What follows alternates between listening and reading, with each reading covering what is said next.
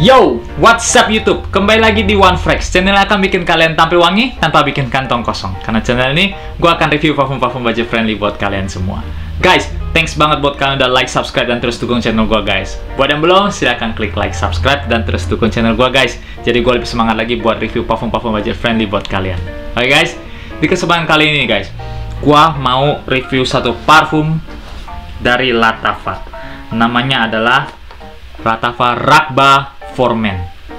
Oke, jadi kayak apa parfum ini? Gimana spellnya? Check it out guys.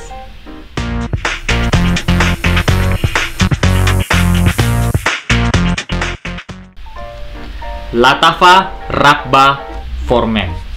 Jadi ini ada sedikit cerita nih guys. Ini parfum awal-awalnya si Latafa. Ya, ini salah satu parfum awal-awalnya Latafa.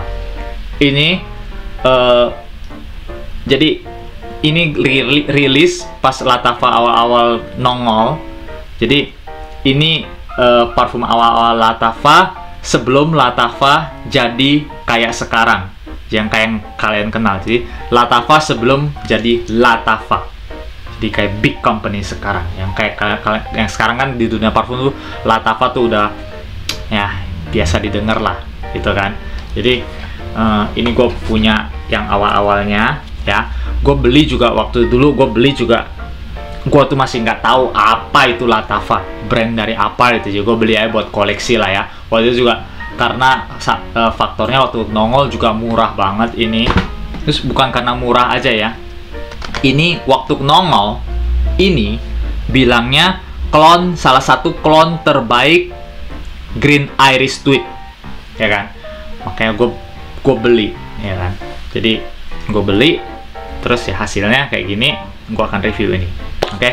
jadi kita presentasinya dulu. Oke? Okay? untuk presentasenya kita bisa lihat di kotaknya ini kayak gini. Ya tulisan hitam aja ya. Lihat tulisannya perfume spray inside.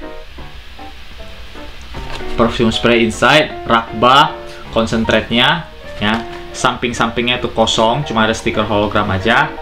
Atasnya itu ada logo Latafa di bawahnya ada barcode ingredient sama batch numbernya oke okay?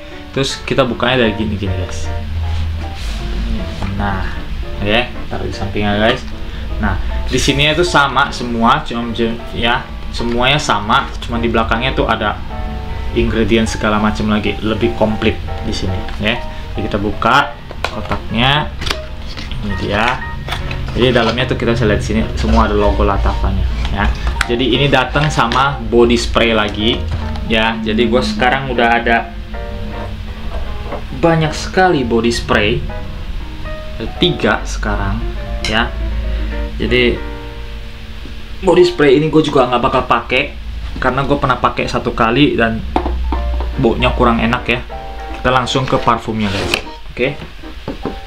nih kotaknya botolnya. Botolnya warna hitam. Di sini ada tulisan Rakba Formen terus di sini ada ada ukiran bahasa Arab ya guys ya tulisan Arab bisa lihat di sini. Gua nggak bisa bahasa Arab jadi gua nggak nggak bisa baca buat kalian sorry. Terus ada konsentratnya EDP sama gedenya 100 ml botolnya nah di belakangnya juga ada, tulisan sini ah, ini tulisan Rakba Formen ya. Jadi tutupnya sendiri ah tutupnya plastik murahan banget ya jadi nggak ada yang spesial. Botolnya enak di tangan tutupnya nggak klik tapi lumayan kuat. Tapi kuat nggak kuat jangan angkat dari botolnya. Seperti biasa saran gua. Oke? Okay? nah terus udah gitu ini agak sedikit berat ya guys ya. Bukan tutupnya ini agak agak agak sedikit berat nih guys. Kok berat banget ya? Gue coba bingung atau lah ya. Jadi ini gue dapet di bawah 20 dolar. Kalau nggak salah dapatnya sekitar 15 15 dolar ya kalau nggak salah. 15 dolar dan 150 ribu. Nah ini kan bilangnya salah satu waktu saat itu kan salah satu klon terbaik Green Iris Tweed ya. Nah kalau menurut gua ini kemiripannya cuma 85% nggak mirip-mirip banget. Jujur aja waktu dulu gue beli ini ya gue belum punya channel YouTube ya. Ini kan karena keluarnya Latafa kalau nggak salah 2014 ya ini keluar ya 2014 akhir-akhir gitu. Gue beli juga karena gue denger kata-kata youtuber ya. Jadi bukan kalian aja gue juga salah satu korban dari youtuber-youtuber. Mungkin karena mereka tuh di endorse gitu sama Latafa untuk jadi gede ya marketingnya kan bagus gitu ya. Jadi bilangnya wah salah satu uh, klon terbaik Green Iris Tweet. Ya Iris Tweet dan gue beli juga gitu gue tes ya gue cium sampai sekarang juga gue pakai gue masih bilang tingkat kemiripannya cuma 85% ya memang ada dia ada DNA-nya Green Iris Twist tapi tetap berasa beda banget Oke, okay, bedanya di sini guys, desain profile guys. Jadi ini openingnya fresh, sama di Green Iris Twist juga uh, fresh fresh begitu. Nah tapi typical freshnya aja udah berbeda. Jadi gini nih, satu, ini sangat-sangat luar biasa sintetik, benar-benar kecium sintetik dan alkohol banget. Oke, okay? Green Iris Twist enggak. Maksudnya kan kalian kecium baunya memang bau-bau yang berkualitas ya kan nah terus dari segi fresh yang tadi gue bilang beda freshnya tuh gini nih kalau yang si originalnya Green Iris Twist itu kan green sesuai dengan namanya ya dia ada, green greennya.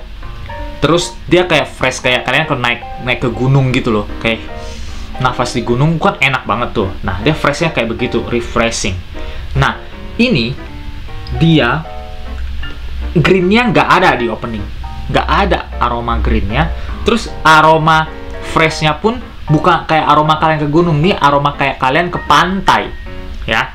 Malah kalau gue bilang oke okay, ini malah mirip kayak openingnya Cool Water Davidoff. Gue tahu Cool Water Davidoff itu juga ngeklon Green Iris Twist ya. Tapi itu lebih menurut gue itu lebih mirip dibanding ini karena sintetiknya ini bener-bener parah banget oke? Okay?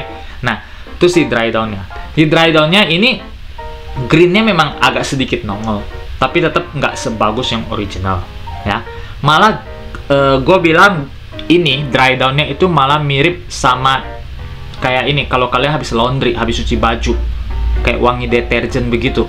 Jadi uh, dia ada wangi-wangi sedikit bunga-bunga floral begitu tapi bukan kayak taman bunga melainkan kayak wangi deterjen gitu kayak sabun cuci begitu loh. Ya kan? Jadi gue bilang sih ini malah lebih cocok dibandingin sama Cool Water ya dibanding sama uh, Green Iris Twist ya. Tapi gini guys kalau kalian tanya gue yang mana lebih oke? Okay? of course Cool Water lebih oke okay, ya. Cool Water juga sintetik. Tapi ini lebih sintetik lagi. Nah gitulah gambaran buat kalian. Jadi Cool Water sintetik ini lebih sintetik lagi ya. Sayangnya itu doang sintetiknya sih. Sebenarnya gini nih ya. Ini gue bilang gini ini sebenarnya bukan gue gua nggak bilang wanginya nggak enak. Ini wanginya enak meskipun openingnya sintetik ya. Ini cuman kalau kalian bilang ini dulu ya dibilangnya ini salah satu klon terbaik Green Ice Tweet gua nggak setuju banget ya.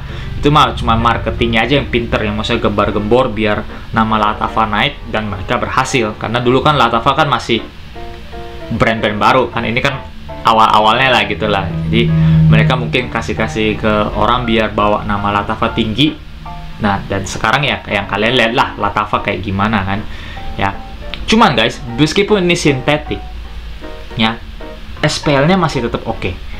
ini longevity-nya dapat 5 sampai 6 jam di kulit. Oke. Okay? Tapi silas projectionnya standar aja. Ya, paling setengah jam satu jam terus nggak terlalu jauh projectionnya paling cuman sekitar satu meter lah gitu ya ya kan terus ini blind buy. Oke okay, karena kalian gampang sekali kan bisa cium cool water bisa ngetes dulu green iris twist di toko-toko gitu kan ya. Jadi kalian ada gambarannya gitu loh. Terus apakah ini gue rekomen? Sebenarnya ya dan enggak. Jadi gini gue rekomen kalau kalian mau cari uh, misalnya mau cari budgetnya pas-pasan tapi mau cari yang mirip sama Cool Water atau Green Iris Twist ya. Green Iris Tweet aduh kacau nih. Ya kan? Hmm, kalau kalian mau cari dengan budget yang sangat rendah ini kok cuma sekitar 15-16 dolaran kalau nggak salah ya. Dengan budget yang sangat murah ini oke okay. ya. Bisa cocok pakai buat musim apa aja ini oke. Okay? tapi kalau kalian ada budget lebih dan kalian mau yang mendekati grip uh, green iris tweet mendingan kalian beli cool water dibanding ini. Itu itu itu. Jadi rekomend ya dan tidak. Oke? Okay? jadi ya tergantung kalian budget kalian berapa. Terus kalian kalau mau yang ada uh, mirip grid uh, grid green iris tapi ada sedikit twist boleh lari ke ini karena murah meriah. Kalau kalian mau lebih mendekati uh, green tweet ya beli mendingan beli cool water nambahin ya sekitar 100 ribu lagi ya untuk performa sama. Terus untuk uh, overall rating gua nggak bisa kasih ini terlalu tinggi gua kasih dia 6,5 dari 10 aja ya. Soalnya ya kita kan sini kan ngomongin klonnya Green Iris Tweet dan ini ya nggak gitu mirip cuman 85% aja kemiripannya. Oke guys?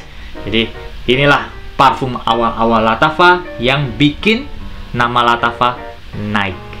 Oke? okay? Segini aja informasi yang bisa gue kasih buat kalian moga-moga informasi yang gue kasih kalian membantu kalian untuk membeli parfum oke okay guys Thanks banget udah tonton channel untuk gua. Jangan lupa klik like dan subscribe buat yang belum. Thank you guys. See ya in the next video guys. Ciao.